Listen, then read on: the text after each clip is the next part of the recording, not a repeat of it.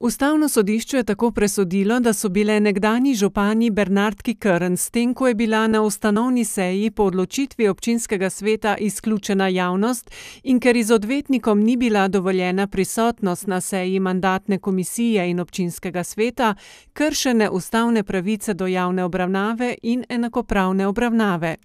Prav tako je sodišče ugotovilo kršitev pravice do sodnega varstva, ker sta občinski svet in upravno sodišče odklonila presojo o očitanih nepravilnostih, ki naj bi se zgodile med volilno kampanjo in naj bi vplivale na volilni izid. Ustavno sodišče zato sodbo upravnega sodišča in sklep občinskega sveta v delu, ki se nanaša na zavrnitev pritožbe, ne pa v delu, ki se nanaša na ugotovitev izvolitve župana, razveljavilo in zadevo vrnilo ponovno odločanje upravnemu sodišču. Hkrati je ugotovilo še, da so trije členi zakona o lokalnih volitvah neskladni z ustavo, državni zbor pa mora ugotovljene protiustavnosti odpraviti v roku enega leta.